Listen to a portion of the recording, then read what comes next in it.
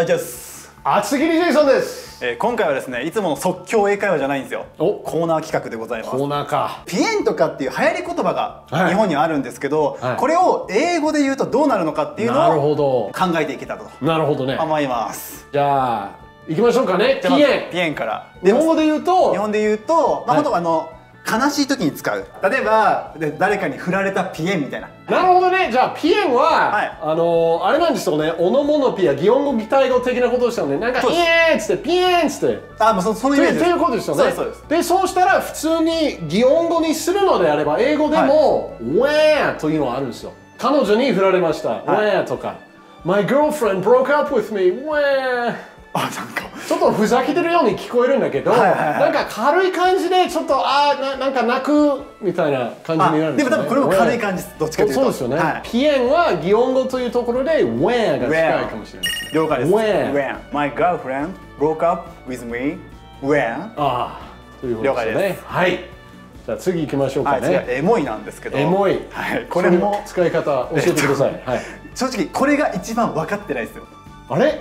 じゃあなんで書いたの？だって流行ってんすもん。本当ですか？若者には流行ってんですけど、は辛いんですよね。分からない。そっか。たまに使うあの SNS で使ったことあるんですよ。エモいって。使っちゃっ使っちゃったんですよ、はい。ノリで、はい。でユーザーの子に「それ違います」と。あ。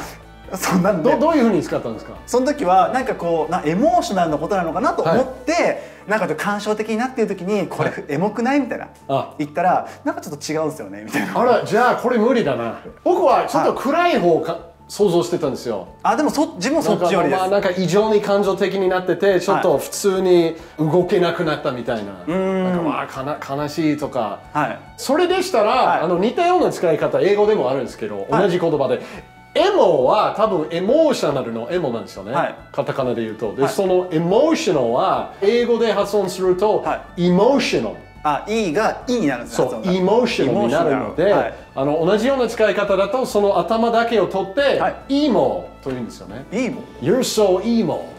You so emo いや、I am emo あ、エモいな。あっていうことですか？そう。人に対してはその、まあ、エモいに近いものが emo 一番よく使われてるのははい。音楽ですよね。That song is so emo. なんかか悲しんでいる人のセリフがいっぱいあるようなセリフというか歌詞がいっぱいあるような。そういうの emo イモ。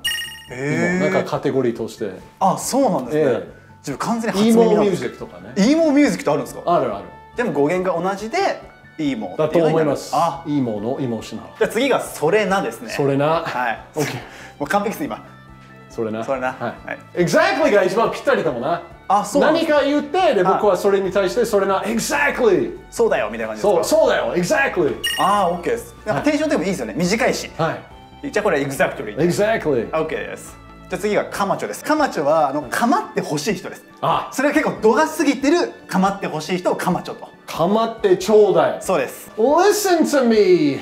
ああ私のこと聞いてみたいな感じですか？そうそうそう。へー Listen to me! Listen to me Listen to me! Listen to me お OK。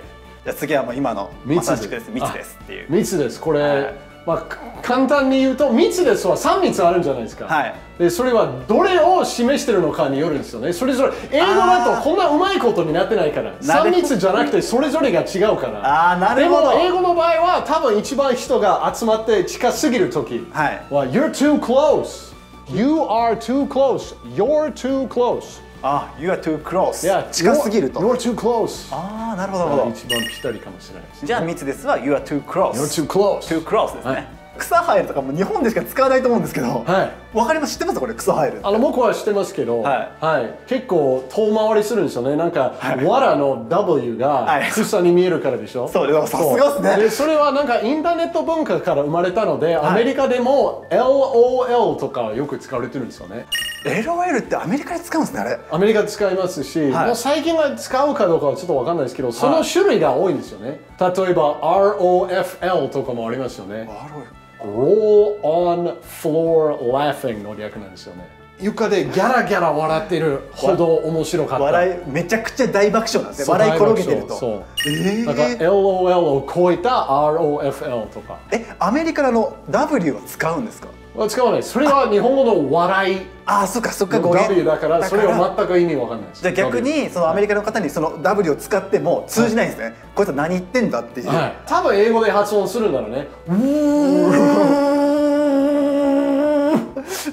あいつあいつは気が狂ったのかなななんかおかしくなったんだよなるほど。そうわかんない。次はキュンです。キュンです、はい。I have a crush on you あのクラッシュですか？はいあのクラッシュと言われたらどんなクラッシュそう示してるのかわかんないあですけど。の CRACH のクラッシュ。A じゃない。SH あの U です。あ U か。そう。RU A だと、はい。あの激突なんですよね。Crash でこれ crush で crush は例えば石を潰すという意味もありますけど、はなぜか知らないですけど相手がはなんか可愛くて好きだなと勝手に思ってる時は crush と言うんですよその何？好意があるみたいな時にクラッシュそうです。へー。crush そうでそれはキュンですとかまあキュンですを説明する時使われる言葉かもしれない。クラッシュが。Crush I have a crush ええ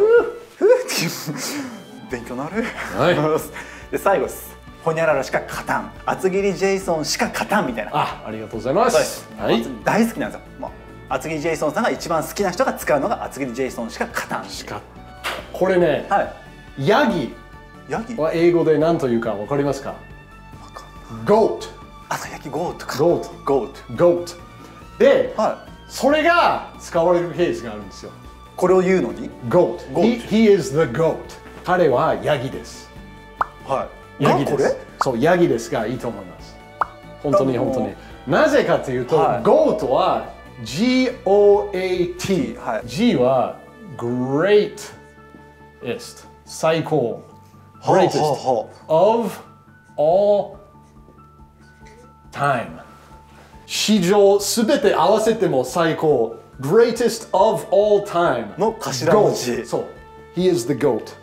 でよく例えばラッパーとかエミネムはよく GOAT ヤギですと言われるしああそう例えばスポーツ選手とかも GOAT と言われる、この頭文字なんですそうね GOAT. Greatest of all time. GOAT.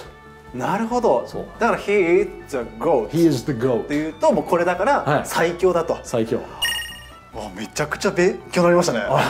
そのつもりで来ました。ありがとうございます。